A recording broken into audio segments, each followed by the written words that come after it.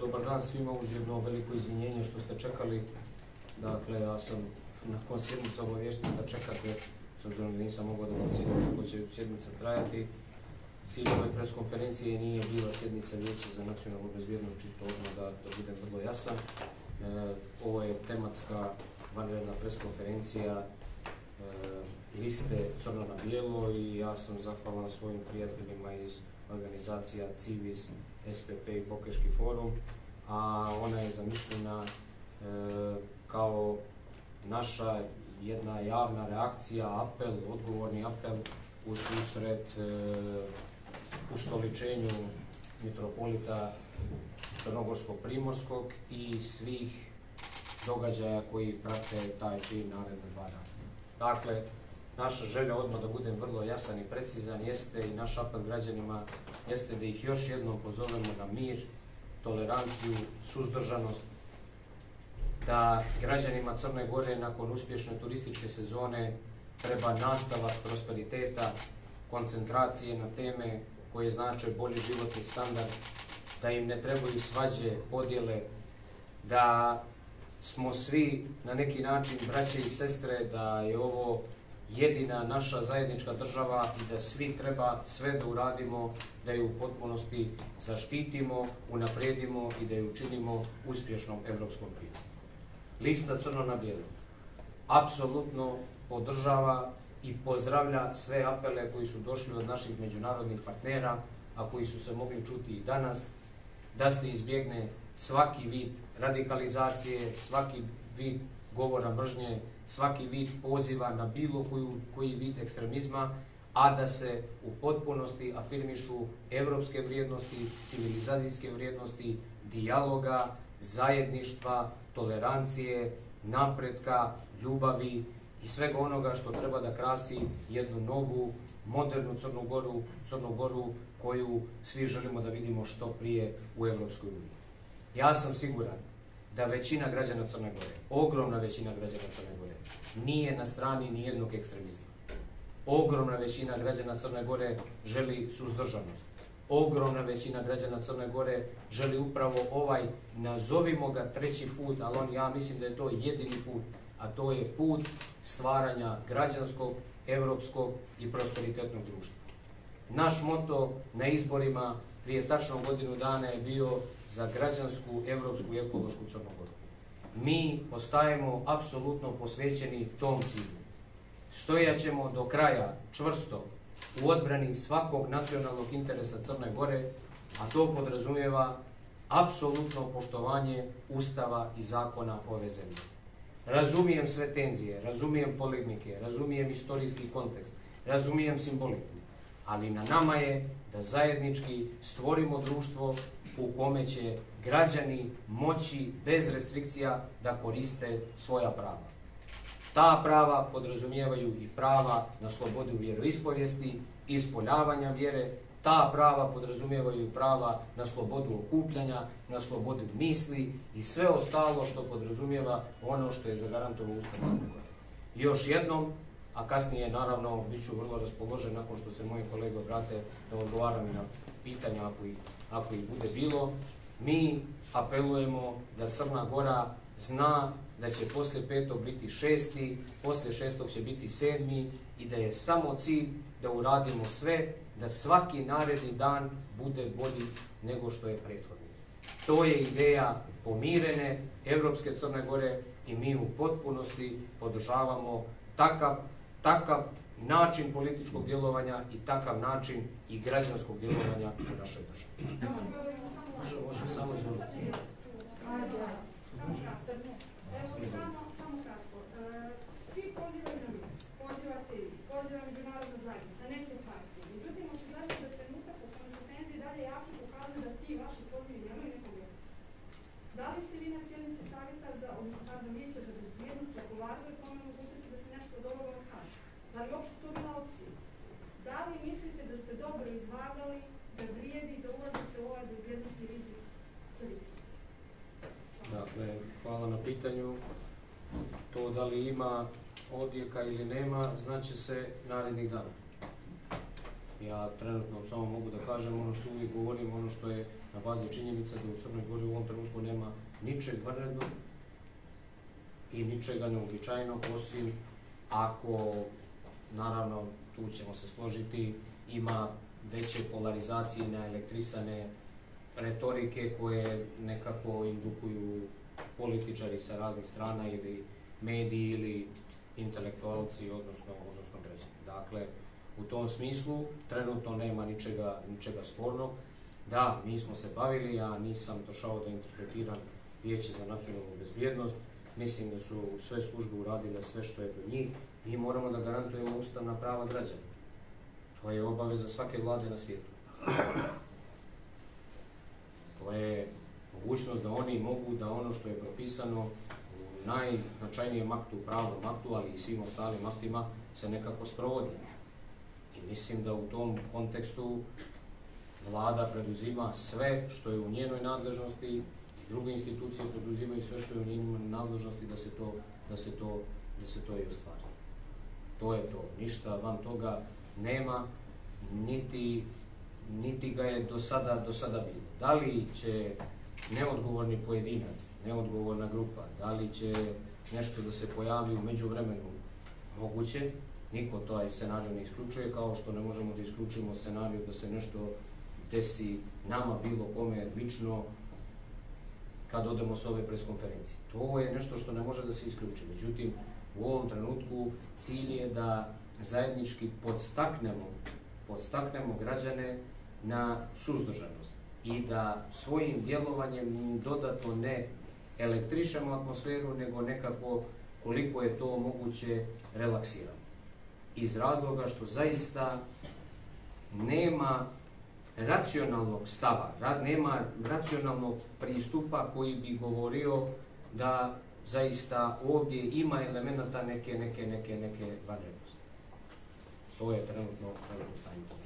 Izvolite. Ana Milošić, televizije Visti. Evo, imali smo i ovo uh, saopštenje nakon sjednice Viće za nacionalnu bezbjednost, na kojem je sa kog je rečeno da uh, su članovi Viće zabrinuti za stanje bezbjednosti. U javnosti se spekuliše o različitim e, crnim scenarijima, od toga da se navodno nalazi oružje na nekim lokacijama, do grupa koje se navodno spremaju da upadnu u manastir, do onih koji su spremni da brane. E, da li je poslijedi širenje panike ili i vi imate neke informacije i znate nešto o tome i držali bezbjednostne službe e, pod nekim mjerama ili kontrolom ove najekstremnije na jednoj i na drugoj strani?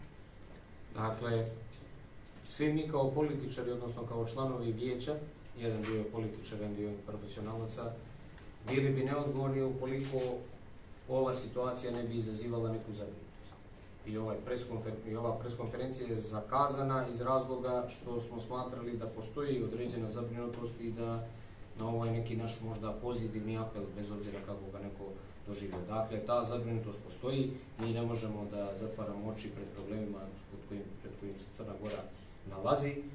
Da li je, sada ću biti vrlo direktan, da li je u prethodnom periodu bilo smišljene propagande vezano za podizanje tezija, jeste. Da li su tome doprinili neki mediji? Jesu. Da li za tih medija stoje kriminalne grupe? Stoje.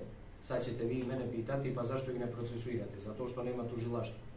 A ja ću vas posjetiti da je kada je prošli put, kada su počinjali litije, objavljen jedan tekst od strane jedne vaše koleginice, da su strane vojne ili paravojne formacije ili policijske formacije jedne, jedne naše susjedne države došle da bi pomogli policiji Crne Gore, ta gospođa uhapšena. To ću reći, vi ćete se sjetiti o kome se radi. Hapšeni su i glavni urednici nekih drugih portala. Ja nikoga ne branim, ne favorizujem, ali zaista smatram da se neki mediji ponašaju krajnje neodgovorno, da iznose neistine, sve sa ciljem da se elektrizacija u Crnoj Gori i ta ukupna klima polarizacije poveća na jedan značajno veći nivo. Zašto se ovo radi? Jednostavno je, mnogo je jednostavno Zato što se nije uradilo prije godinu dana kad se izgubila vlast. I možda su neki ljudi procijenili da su tada propustili šansu, a da sada ne žele da je propustili. Međutim, ja sam siguran da su građani Crne Gore trezveniji od takve političke strukture.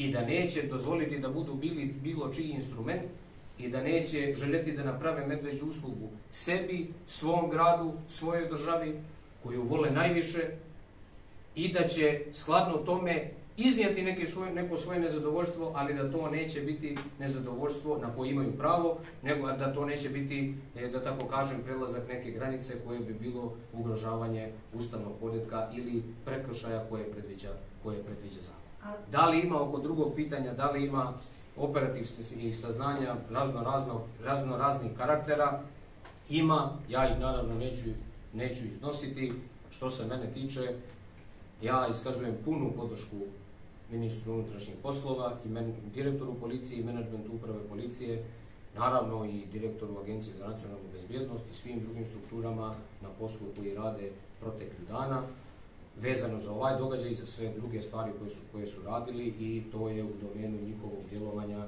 Ja se nadam da će oni um, sve da se eventualno neka lica, ako se utvrdi da se zaista rade nešto protiv zakonito, skup 5. septembra, ovaj protest e, nije prijavljen. Može li on biti zabranjen? Vi ste rekli da ste za to da se ustavom zagarantovana pravo poštuju. E, I da li imate informacije hoće li se e, šef države pojaviti s obzirom da to vjerovatno podrazumijeva i neke posebne pripreme, pa je za očekivati da bi trebalo da imate neke informacije o tome i da budete obavješteni. I vjerujete li vi kao političar E, da će on doći i kako uopšte vidite njegovu ulogu u svim ovim događajima? Dakle, član 25 Ustava nalaže da se ne može ograničiti sloboda vjeroispovesti čak i kada je ratno ili vanredno stanje. Okupljanje se može ograničiti, može limitirati, može i zabraniti u određenim okolnostima i to je također predvidio zakon. Međutim, mi imamo ovdje situaciju da to je prestalo da bude javni skup. Zato što su skupovi unutar zidina ili unutar određenih prostorija, kao što je ovaj ovdje, nisu javni skupovi. Sa druge strane imamo najavljeni skup koji niko nije prijavio. Niko imenom i prezimenom. Da sam ja predsjednik Crne Gore koji podržava skup i da zaista mislim da je ugrožena nacionalna bezbjednost Crne Gore i dostojanstvo države koju predstavljam. Sam bi stavio potpis i pozvao građane da dođu na protest koji organizujem ja lično, odnosno koji bi u ovom slučaju trebao da organizujem on lično. To bi bio odgovoran pristup. A ne da gurne građane prvo u nelegalnost, zato što skup nije prijavljen, i sutra da se nešto desi, da svi peremo ruke i da kažemo nikakve veze ni sa tim ime, jer to nije naš skup. Dakle, da je zaista posvećen interesima Crne Gore ili da je zaista mislio su ugroženi interesi Crne Gore, trebao je da ode u MUP, podnese zahtjev u svoje ime, kaže da je organizator skupa i da stoji iza svega što će se taj dan desiti na Cetinju sa građanima koji podržavaju takve stane. To se nije desilo. Da li mislim da je dobro da on prisustuje tamo? Ja mislim da je to dobro. Zašto? Odmah ću vam reći, zato što će to umanjiti mogućnost bilo kakve incidenta. A imate li neke informacije? Ja lično mislim, samo imam lični stav, nemam zaista informaciju, imam lični stav, ja mislim da se on tamo neće pojaviti. Još me zanima... Dakle, to je moj lični stav, on nije baziran na nekim informacijama, niti on treba te informacije bili sa mnom, ali ja mislim da sve što je čovjek radio u prethodnih 30 godina je jedan prilično bleferski postupak u mnogim situacijama, pogotovo u kritičkim situacijama i mislim da se neće pojaviti. Mislim da bi bilo jako dobro da se pojavi i mislim, za razliku od, mnogo, od mnogih svojih kolega, bilo u vladi ili ovdje, ja mislim da je to dobro što se DPS identifikovao i što on na indirektan način preuzima odgovornost za sve što će se desiti na deseti na Isto mislim da se njihovim poslanicima treba omogućiti da oni taj dan budu uz građane na Cetinje, ako već dijele, dijele, te, dijele te stavove, što je potpuno, potpuno legitimno. Nažalost, nije prijavno skup, ali mislim da je legitimno i da će to biti poruka i međunarodnoj javnosti i domaćoj, i domaćoj javnosti u tome ne vidim ništa. Ana, samo da dozvolimo drugim kolegama. Hoćemo, evo, izvinjavam se, samo još jedno pitanje i da završavam. Zbog čega još nije postavljena ograda oko Cetinskog manastira i kada bi to trebalo da se dogodi, budući da je moguće da dođe u svakom trenutku do nekog incidenta? Dakle, nije postavljena, ima određeni problem na relaciji sa komunalnom policijom, koliko sam shvatio, nadam se da će se i taj problem riješiti i da bi bilo dobro da niko ne obstruira rad uprave policije. Ako se to bude nastavilo, onda na neki način ti ljudi koji to rade preuzimaju dodatnu odgovornost za bezbjednost građana koja je po svima nama na prvom mjestu. Izvolite. E, ovaj, ovo je jedan. Volim mi pojasnite ovo što ste rekli na početku da stanje nije neobičajno. S obzirom na to da se govori da deluje da nije baš tako. A, druga stvar, nekoliko sati je trajala ova sednica, imamo samo jednu rečenicu da su zabrinuti za stanje bezbednosti da pozivate na smirivanje. Sergij Srković je rekao u sredu da svi sat u sat dobije nove informacije, e, sigurno je da tih nekoliko sati bilo nekih interesantnih informacija koje bi bilo korisno za šta je bilo tamo i šta je to novo sa stanovišta bezbednosti što je među vremenu od sredi do danas moglo da se čuje. E, da li danas možete da kažete posle ovog saveta da može da se garantuje apsolutno bezbednost građana i novinara na Cetinju i samo za kraj jedno pitanje, e, niste vjerojatno govorili, mogu to da precizirate za ovaj skup koji je najavljen, nije prijavljen, da li bilo razgovor o tome, da li će biti dopušten prijavljen? Dakle, hvala. To što se ne dešava ništa neobičajeno, ako vam je neobičajeno aktivnosti koje mi sprovodimo na tome što treba veliki broj građana da se skupi u dva dana na dva mjesta da dođu određene zvanice, određene štićene, štićene ličnosti, onda to podrazumijeva nek, neku vrstu aktivnosti. Ali ja sam govorio sa bezbjednostnog aspekta da nas u Crnoj Gori ne dešava ništa, makar do ovog momenta dok, je, dok, i dok su kamere ovdje. Jedan dio ljudi koji je na Primorju i dalje uživa u čarima ljeta, drugi dio se po mom skromnom sudu ponaša potpuno ok, trenutno nema ničega vanrednog u, u, u Crnoj Gori. Dakle, mi smo imali jednu aktivnost prošle subote, kod nas je bio u posjetu predsjednik Republike Turske e, Erdogan, Recep Tayyip Erdogan. Taj događaj isto zahtjevao veliku e, bezbjednostnu proceduru i prošao je bez ikakvih incidenata. Ovo je sad drugi vikend u kome mi u kome nas čekaju vjerovatno i komplikovanije stvari, ali u tom segmentu ja moram reći da bezbjednostni sektor čini sve što je što je u njegovoj u njegovoj nadležnosti. Kad je riječ o pojedinostima izvješća, ja ih naravno neću iznositi, sjednica je trajala, naravno da je trajala, ljudi iznose različita mišljenja, observacije, podatke, logično, oko nečega postoji velika saglasnost, oko nečega postoje neke dileme, ja sam zadovoljan i prethodnom sjednicom koja je bila atmosferom u prethodnoj sjednici i ovoj, mislim da svi zajednički razumijemo, bez obzira što je tamo raznolik sastav, razumijemo i kompletno situacije i ono što bi željeli da kako iz nje izaći na najelegantniji način, ali o pojedinostima zaista se ne bih, ne bih, ne bih izjašnjavao. To je, to je to, ne znam da li je još nešto bilo. Apsolutna bezbednost. Apsolutna bezbjednost na, na, na, na cetinju za novinare i za građane, dakle, ja sam i prethodnoj, prethodnoj nedelji iznio stav koji možda neko interpretira na ovaj ili na onaj način. Na državi je da učini sve da, za, da garantuje bezbjednost svakog pojedinačnog građanina Crne Gore, nezavisno da li je on novinar, radnik, student, penzioner ili bilo šta. I država će preuzeti sve, preduzeti sve što je u njenoj nadležnosti da se do kraja do kraja ispoštuju svačija ustavna, ustavna, ustavna prava e, koja su, koja su zagarantovana. Dakle, država garantuje da će uraditi sve u njenom domenu. Ako vi kažete sad, vi garantujete slobodu ili garantujete odvijanje saobraćaja i sada se deši e, saobraćajna saobraćajne nesreće u bloku 9 i onda kaže vi ste garantovali da... To, ne, to su nepredvidljive okolnosti.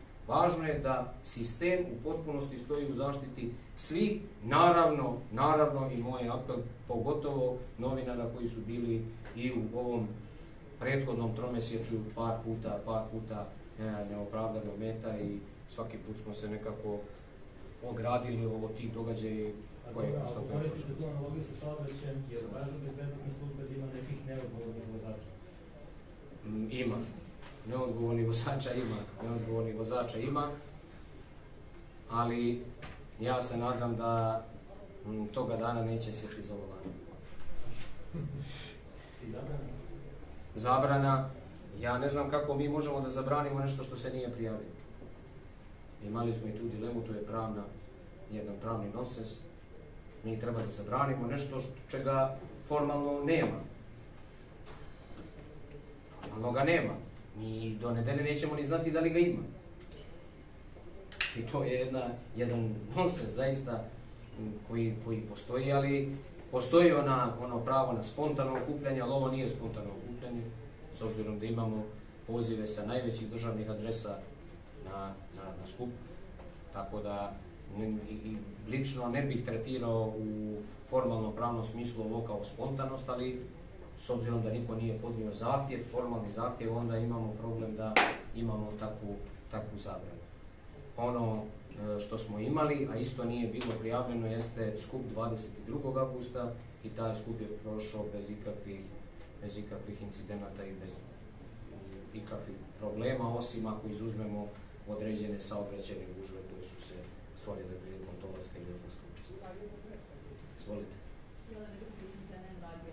A Kažete mi, e, da li najavljeno ustoličenje i protest može imati nezagledive posljedice po budućnost Crne Gore? To jest, da li možemo nakon 5. septembra očekivati bezbjednostnu, političku, ekonomsku, zdravstvenu nestabilnost? I da li to može dodatno da utiče na usporavanje e, do integracije?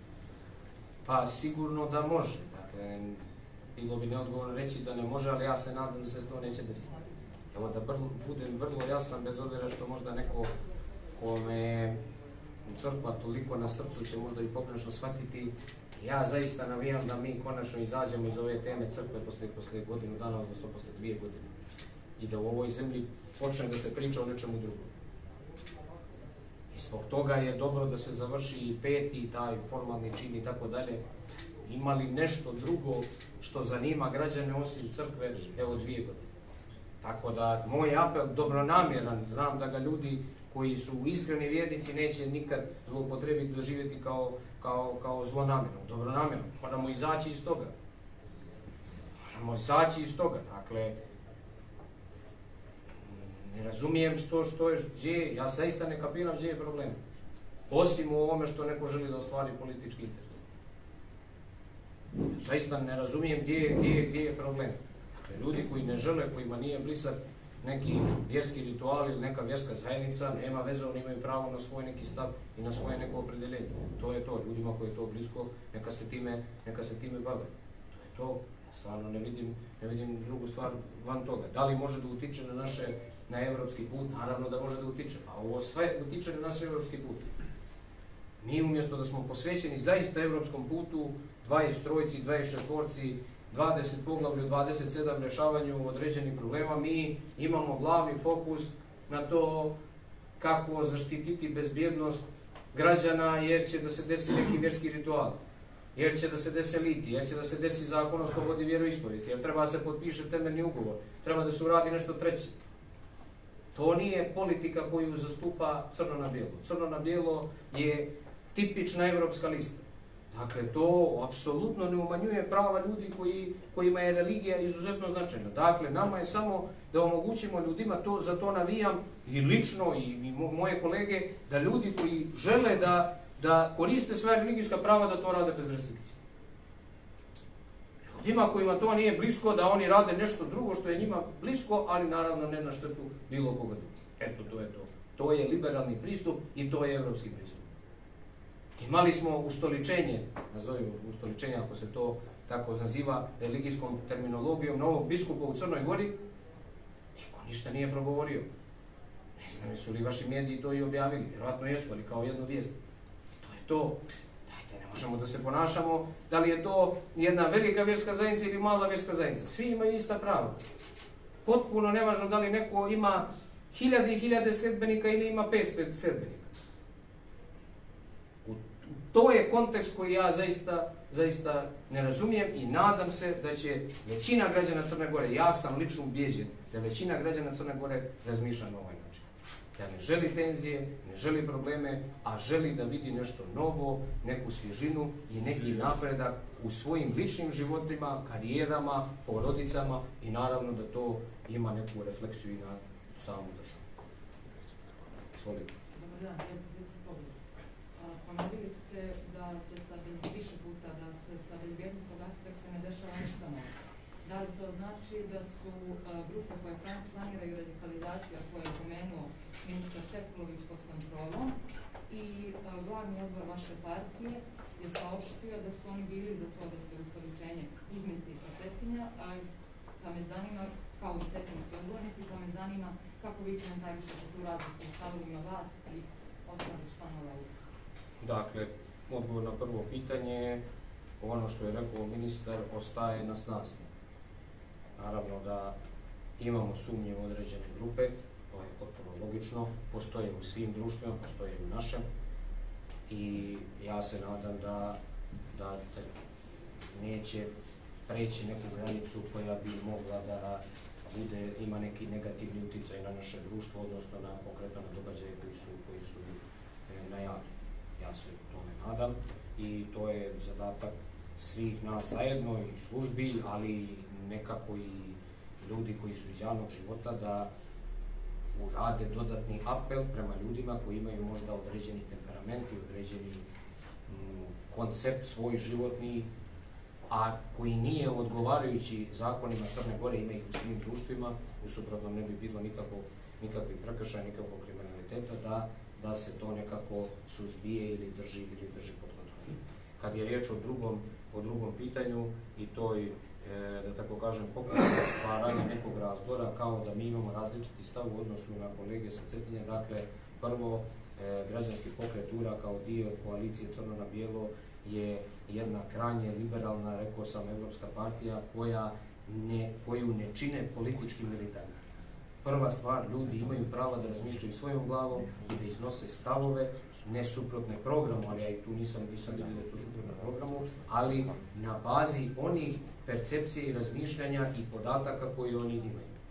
Rekao sam više puta da građani koji žive na Cetinju, moje kolege, moji prijatelji koji žive na Cetinju, sigurno drugačije doživljavaju ukupni impuls situacije nego ljudi koji žive u drugim krajevima Crne Gore. I to je potpuno logično s obzirom da će se dio događaja desiti u, njihovoj, u, njihovom, e, u njihovom gradu. Kad je riječ o odluci glavnog odbora, glavni odbor je bio jasan. On je poslao apel koji ja ponavljam, koji uopšte nije sporan, koji je zdravorazumski. I još jedan apel. Mitropoliji Crnogorsko-Primorskoj razmisli o tome da li treba držati taj vjerski ritual tamo iz svih razloga koji su opšte, opšte poznati. I da je apel bio da je najbolje, najpraktičnije, najjednostavnije, naj, možda e, lakše za sve nas da se to, na primjer, održalo na nekom drugom mjestu. Međutim, ukoliko njihov stav bude bio da oni žele svoj religijski obred da održe unutar zidina Cetinskog manastira, mi moramo kao, kao država i kao ljudi da to prihvatimo kao tačno.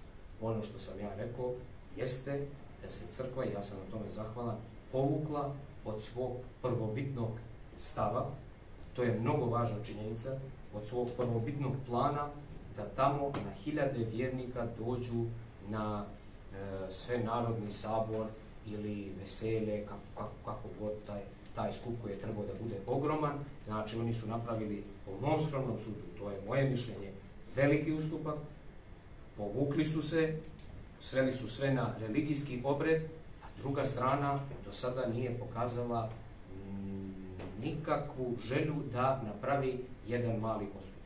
Moj je poziv da i druga strana razmisli o tome.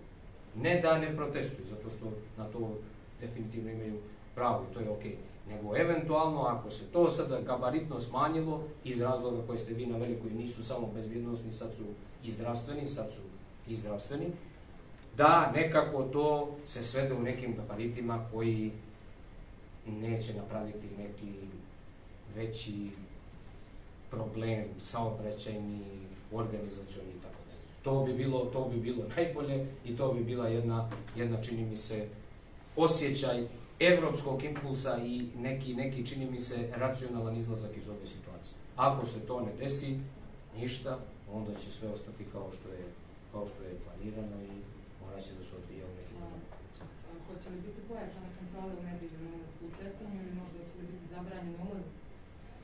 Dakle, ja ne mogu da odgovorim na to pitanje iz razloga što je to e, djelovanje uprave policije, to je njihovoj nadležnosti, oni će se u odnosu na procjenu ukupne situacije vjerovatno mm, donositi odluke koje imaju za cilj da, da se to obezbijedi, da se to omogući, ulazak, izlazak, zaista ne mogu sada da niti, niti znam sve detalje, možda ugrubo, ali, ali mislim da je to u njihovoj nadležnosti i da će oni na bazi svega što, što se bude dešavalo donositi odluke o tome da li će neke saobraćajnice biti zatvorene, da li će kroz neke biti prohodnost, kroz koje puteve i tako dalje. To je nešto što je uobičajeno kad god se desi neka, kad čak i prošle subote je bio malo izmijenjen režim saobraćaja zbog dolaska visoke zvanice. Možete li samo kratko za sutra, kakva je procena bezbjednostne situacije ovdje području?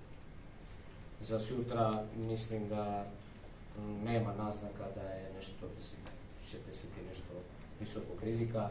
Sigurno da će i sutra iziskivati malo utrošak energije iz razloga što se očekuje prilično veliki broj građana, tako da će to sigurno podrazumijevati ove restrikcije o kojima sam pričao, možda e, malo zatvaranje određenih saobraćajnica ili korekciju redovnog saobraćaja, ali očekujem da sutrašnji dan zaista protekne bez nekih, bez nekih većih. Izvolite. Samo ću vas još pitati nevezano za ovu temu Samo rečenju. Da li je i kada raspisana potjernica za Jovanom Vukutićem i interesuje me da se vratimo i na ovu priču o kokainu, hoće li imati tu nekih novih detalja u slučaju kokaina i Krstovića, hoće li biti nekih novih hapšenja?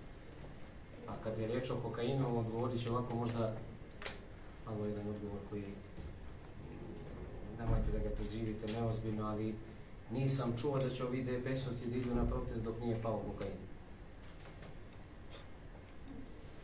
A najava ustaličenja je bila ohoho odavno da će to biti 5. 5. septembra. Ni to nisam čuo, možda je to stvar slučajnost, stvar slučajnosti, uopšte ne ulazim, ali to je, to je to. Što se tiče Jovana Vukotića, ja ću reći da na rezultate borbe protiv organizovanog kriminala koje sprovodi uprava policije, odnosno sektor za borbu protiv organizovanog kriminala koji vodi gospodin Dejan Knežević, bi bila ponosna ne znam koja policija u svijetu. Mi imamo Kašćelana, vođu jednog organizovanog kriminalnog klana u zatvoru, drugog u bjekstvu protiv koga je, protiv koga je raspisana međunarodna potjernica i imamo sada potjernicu protiv drugog vođe suparničkog klana, škaljarskog klana gospodina Vukotića. Tako da mislim da činimo sve da ih desetkujemo, a ovakve stvari samo imaju za cilj da nas u tome uspore. Ovakve, ovakvo stvaranje, ovakve atmosfere u Crnoj Gori, ovakav stavljaj fokus na ove teme, samo ima za cilj da uspori tu borbu protiv organizovanog kriminala koja suštinski treba da se pretvori u borbu protiv korupcije na, na visokom. Hoće li biti nekih novih hapšenja u slučaju Krstović, kokain? U slučaju Krstović kokain, pa ne mogu sada da otkrivam, ali mislim da je to akcija koja je međunarodnog karaktera i koja je samo pospješila kao nikad prije međunarodni kredibilitet crnogorske policije. Izvolite. Rekli ste da sve ovo što se dešava je posljedica toga što nemamo tužilaštva. Da li ima nekih naznaka da bi mogli skoro dobiti tužilački savjet da nema potpunog dogovora, odnosno najave sastanka, da li ste vi inicirali taj sastanak? Potpuno ste u pravu, ja to često apostrofiram, mislim da je mnogi od ovih stvari koje se dešavaju, koji su negativni posljedica nedostatka političke volje da mm, i tužilaštvo profunkcioniše i nadam se da će se to desiti što prije. Oni koji su na bilo koji način obstruirali e, izbor novog tužilačkog savjeta, mislim da im je iz dana u dan jasno koliko su medveđu uslugu napravili Crnoj moj apel da se manemo svih političkih interesa, kalkulacija koje ne vode zaista ničemu i da se bavimo strateškim stvarima. Strateška stvar je da Crna Gora dobije tužilaštvo koje može da pokaže istu volju, isti žar, istu energiju kao i uprava policije u borbi protiv organizovanog kriminala i u ukupnoj distribuciji pravde u Crnoj Gori. Da li će biti sastanka, Mm, što se mene tiče, ja sam spreman, mislim da do petog neće biti ništa, da je sve palo nekako u, u sjenku ovih događaja, ali mislim da tokom naredne sedmice već ćemo moći da se više posvetimo nekim drugim stvarima, a tuž, taj promjena, odnosno izbor novog tužilačkog savjeta je sigurno jedna od prioritetnih političkih tema za, za novu parlamentarnu većinu. Još pitanje? Može li još izvolite. Vaš koalicijalni kolege iz Deveta su mi javili da će prisustvovati u ceremoniji isporučenja. U međuvremenu Metropolija je povukla poziv. Jeste li imali komunikaciju sa njim? Oni se više nijesu oglašavali. Kako komentarišete, komentarišete ukoliko ne odluče? Jesam, jesam, imao sam komunikaciju i jutro sam imao komunikaciju na vijeću sa, sa kolegom Kneževićem. Dakle, oni neće ići na Cetinje, ali sad jednostavno kad ovako nešto čovjek kaže javno, ne bi me čudilo da neko od njih izađe sad i da, da suprotno stav, ali, ali oni su, oni su, kako sam ja shvatio na pitanje da li će ići na Cetinje, rekli su da hoće kada je pozivnica bila aktuelna. U momentu kada se to otkazalo, ne samo za njih, nego i za sve druge zvanice, oni su, kao i svi ostali, naravno, bez pozivnice neće, neće ići. Tako da je to, čini mi se, dobra stvar. Ostaće DP sam. Dobro, to je to. Hvala. Hvala svima.